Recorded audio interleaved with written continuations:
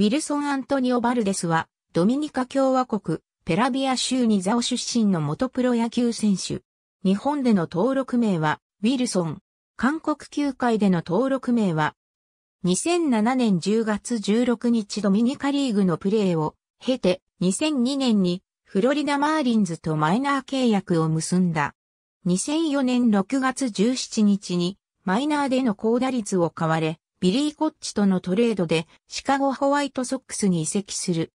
9月にメジャー初昇格し、19試合に出場した。同年オフ、シアトルマリナーズに移籍した。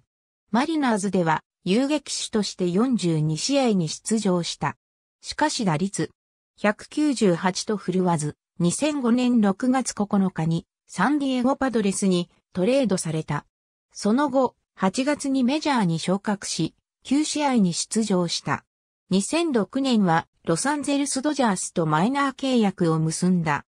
その後、2007年に故障したラファエル・ファーカルの代役として2年ぶりにメジャー昇格し、41試合に出場した。2008年1月4日に韓国プロ野球のキアタイガースと契約した。キアでは俊足と守備が変われ、ショートのレギュラーの一角として期待されたが、打率218と振るわず、5月27日に解雇された。キアを解雇後、日本の東京ヤクルトスワローズと入団交渉を行い、2008年6月9日に入団が決まった。ヤクルトでは不審で2軍落ちしたアダム・リグス、アーロン・ガイエルに代わる助っ人と、北京オリンピック代表として抜けることが濃厚な宮本慎也のバックアップとして期待され、6月21日に川端慎吾と入れ替わる形で一軍登録を受けた。同日の対オリックス戦で宮本に代わる遊撃手として NPB 公式戦に初出場し、2安打で初安打も記録した。7月2日の対巨人戦では初の本塁打を記録している。11月4日、来季の契約が結ばれないことが発表された。同年12月、クリーブランドインディアンスとキャンプ招待選手としてマイナー契約を結んだが、その後、ニューヨークメッツに移籍した。2009年オフ、ニューヨークメッツを解雇され、フィラデルフィアフィリーズとマイナー契約を結び、春季キャンプに招待された。開幕メジャー入りこそならなかったが、2010年4月15日メジャー昇格を果たした。